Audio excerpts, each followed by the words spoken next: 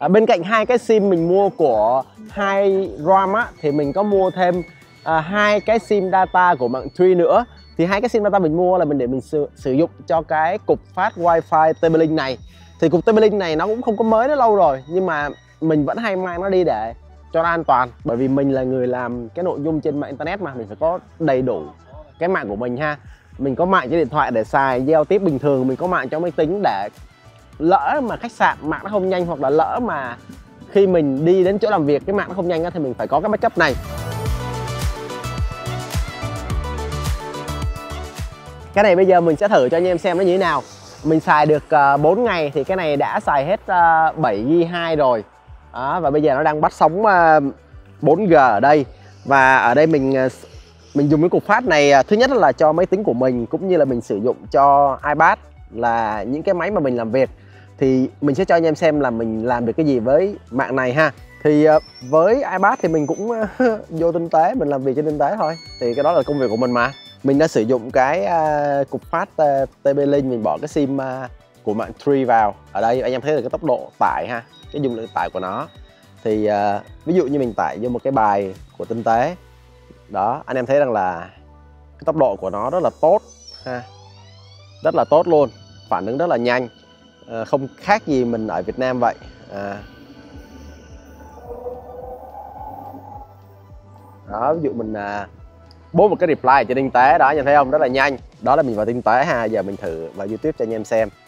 Mình vào youtube uh, thì mình cũng uh, cần xài youtube mà tại vì mình cũng xem nội dung ở, ở trên tinh tế. Mình không có post nội dung lên trên uh, youtube có mấy anh em khác làm.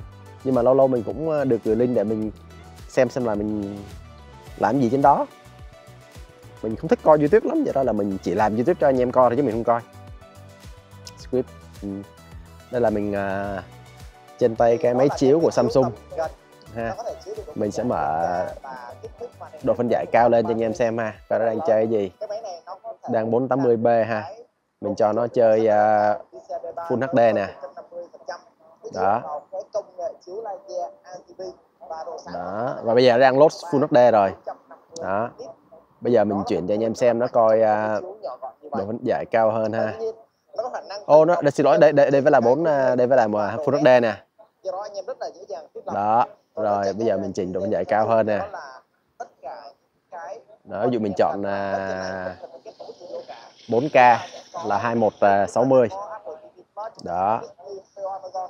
Đợi chút nó tự động nó sẽ áp vào. Đợi mình coi nó áp chưa nha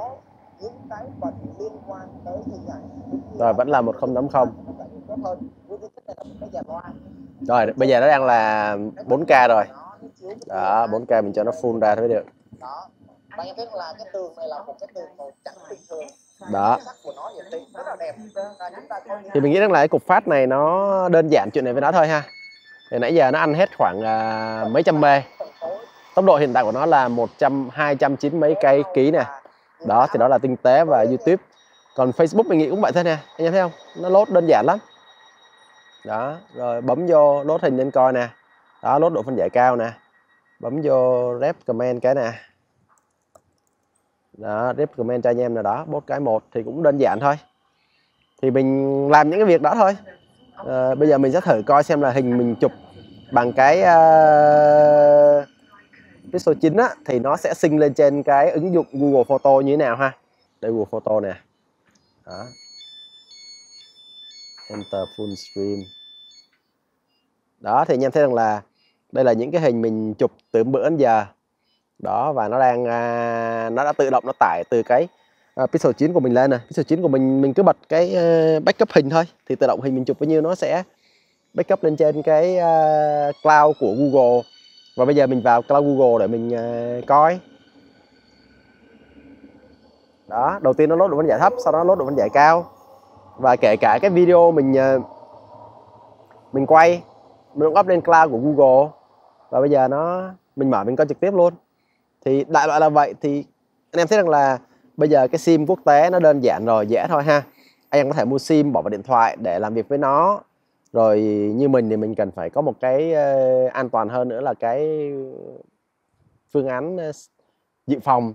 Thì mình mua thêm cái cục phát uh, wifi này. Thì cục này của TP Link lâu rồi. Lâu lắm rồi. Nó ra đời mới rồi nhưng mà chưa bán.